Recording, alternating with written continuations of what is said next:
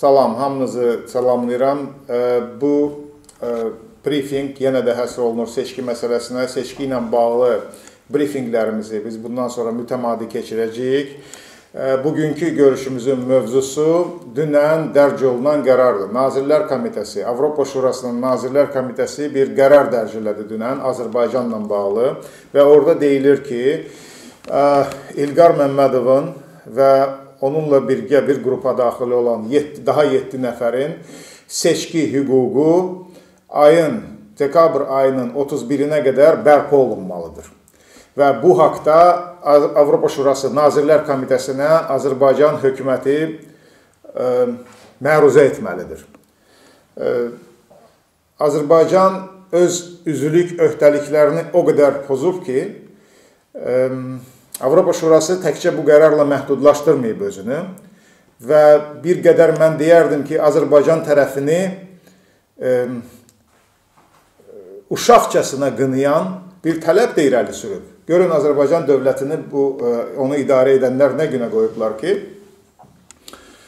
e,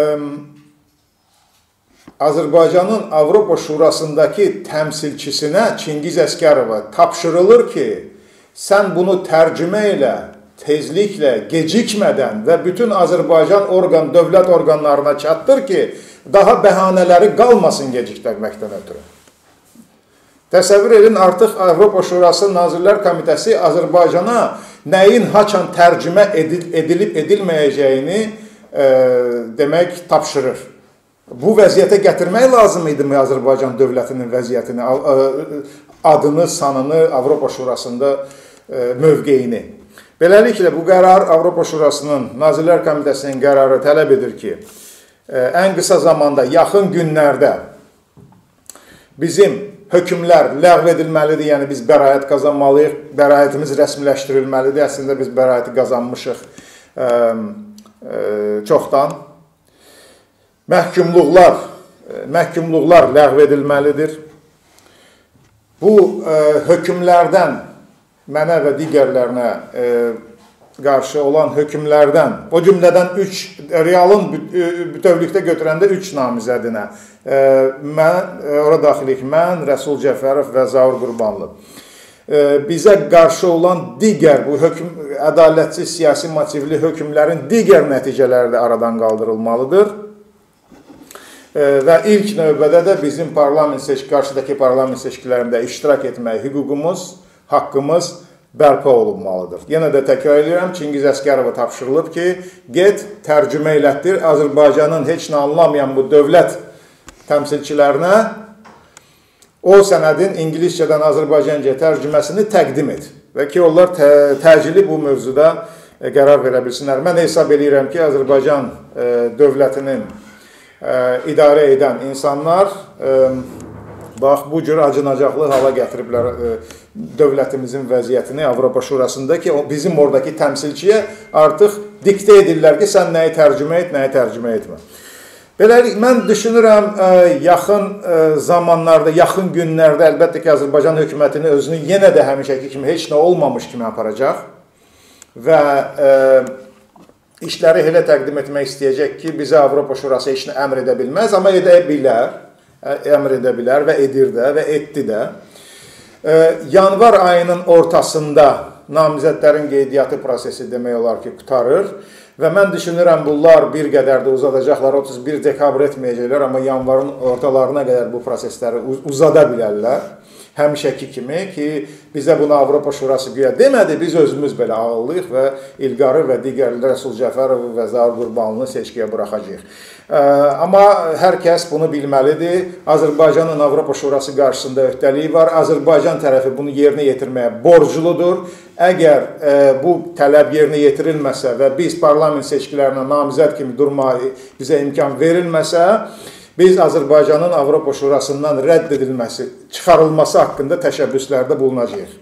Və bundan başqa e, demək e, bizim qeydə alınmayan, alınmayacaq namizədlərimizin sayı e, bundan da artıq olacaqsa, yəni hal-hazırda 3 nəfərdir, pozuntu Seçki elan olunan gün artıq pozuntu başlandı bizə qarşı. 3 nəfər hal-hazırda qeydiyyatda dura bilmir namizəd kimi və bu ə, namizədlərimizin qeydiyyatı məsələsində daha da artım olsa, əhəmiyyətli dərəcədə artım olsa, biz artıq kütləvi, dinc, demokratik etiraz formalarını da Azərbaycan hakimiyyətinə təsir etməkdən ötürü nəzərdən keçirəcəyik və onları tətbiq edə bilərik. Söylüyorsunuz ki, Avropa Şurasının, Azərbaycan Avropa Şurasından çıxarılması üçün əgər namizədliyimiz təsdiqlənməsə, çaba sərf edəcək. Bəli. Bəli, məsələ ondadır ki, Azərbaycan e, öz öhdəliyini, üzvlük öhdəliyini yerinə yetirməmişdi mənim qərarıma gəldikdə.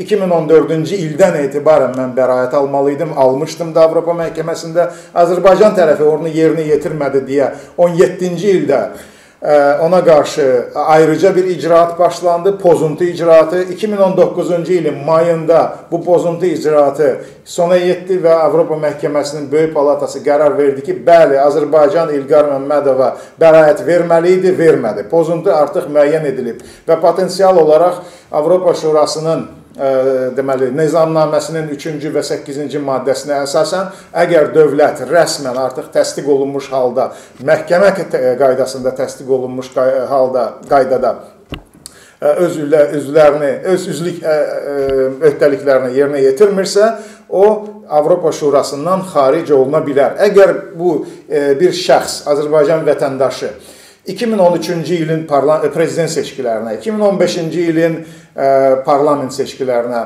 2018-ci il prezident seçkilərinə və indi 2020-ci ilin parlament seçkilərinə buraxılmırsa və onda bu Avropa Şurasının konvensiyasının nə nə əhəmiyyəti var? Əgər hakimiyyət bizi tamamilə istədiyi vaxtda e, şərləyib həbsə ata bilirsə, ardıca da bizi seçkiyə buraxmırsa, nə nə əhəmiyyəti var? O baxımdan biz vəsatət qaldıracağıq uyğun vəsatət Nazirlər Komitəsi qarşısında ki, Azərbaycan Avropa Azərbaycanın bu hökumət bu hökumətin rəhbərliyi altında Azərbaycanın Avropa Şurasında yeri yoxdur və bizim buna bunu deməyə məhkəmə əsasımız vardır.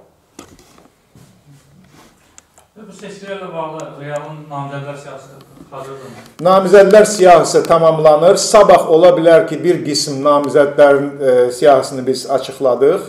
E, biz bunu planlaşdırırıq sabah eləmək. Bəlkə e, bir 30-40 namizədi sabah e, açıqladıq. Ondan sonra bu proses ardıcıl olaraq gedəcək. Yəni bütün siyahını birdən hazırlamaq seçki gözlənilmədən bir növ elan olundu deyə hamısını birdən açıqlamır. Qismən amma sabahları bir hissəsini açıqlayacaq. Yəni müxalifət partiyalar arasında biz e, seçkilə bağlı bir mənalı mövqe yoxdur. Boykot və seçkiyə getməklə bağlı e, fikirlər var. E, yəni bu seçkiyə gedilsə başqa müxalifət partiyalarla hər hansı bir əməkdaşlıq, bir dialoq qurulacaqmı? Biz e, dairələrin bölüşdürülməsində, partiyalar arasında bölüşdürülməsində ə, e, iştirak edə bilərik. Yəni ki, hansısa partiyalar baş, bir bir qrup dairələrdə namizədlərini irəli sürə bilərlər, bir biz başqalarında ki, bir-birimizə mane ola, olmayaq. Lakin digər təşkilatlarla koalisiya formasında biz seçkiyə getməyəcəyik. Çünki əgər digər təşkilatlar 20 il ərzində Əliyev rejiminə qarşı düzgün mübarizə aparsaydılar, Real partiyasının yaranmasına heç zərurət də yaran yaranmazdı.